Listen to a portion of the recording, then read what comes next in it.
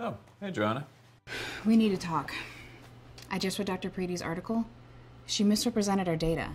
What, you think she made a mistake? Either that or she has some other agenda. You sure? I can read, Carson.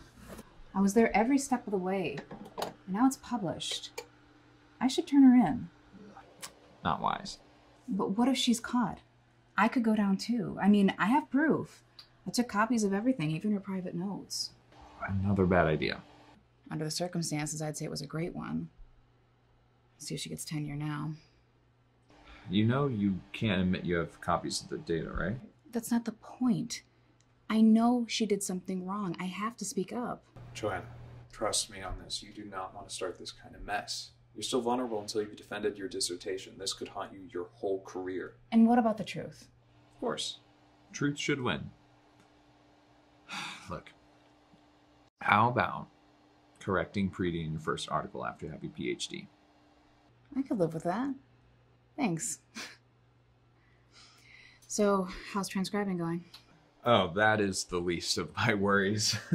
I've been coding the interviews that I did yesterday, and so far I can't find the descriptors we're looking for. The hypothesis descriptors? Yeah, I don't know what to do. Have you talked to Dr. Fourier? Of course. Yeah, but all he says is those things should be happening. Go out and find them. I mean, maybe he's right. They should be happening. I just can't find them. Hey, these interviews are in the same classroom, but they're on different days and with very different number of students in attendance. So the data is probably unreliable anyways. Maybe use that as a reason to throw out this interview's results, take a week, see what you need. Maybe. I mean, I'm certainly not getting anywhere with the tools I've been using. Um, yeah, you know what? I just need to rethink this.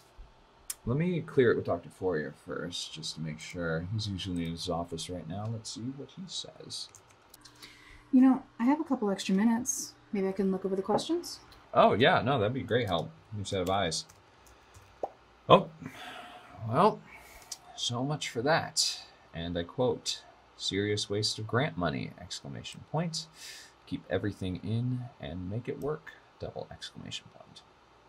And of course, that's far more important than being accurate, right? Once again, the truth wins.